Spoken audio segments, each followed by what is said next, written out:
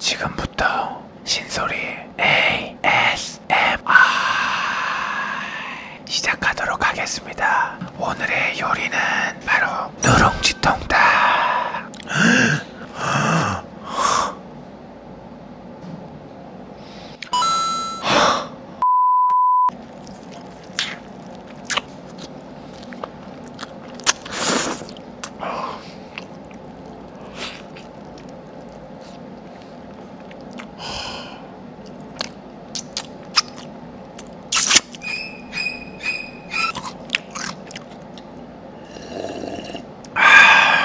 커피는 맥나 내일 주비스 회장님이랑 미팅인데 안 보시겠지?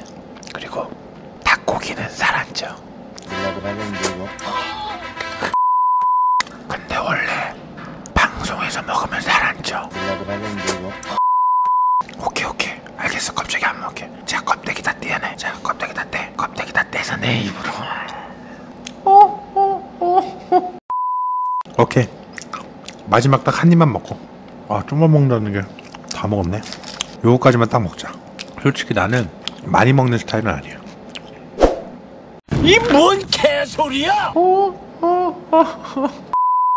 지금까지 오늘의 요리 누룽지 한방통닭 A S M R 신소리. 여기까 끝!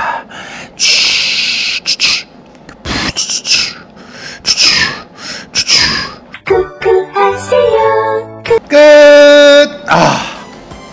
어떻게 너무 많이 먹은 것 같아. 신부리 말고 먹방신 해야 될 것 같아. 근데 내가 생각보다 많이 먹는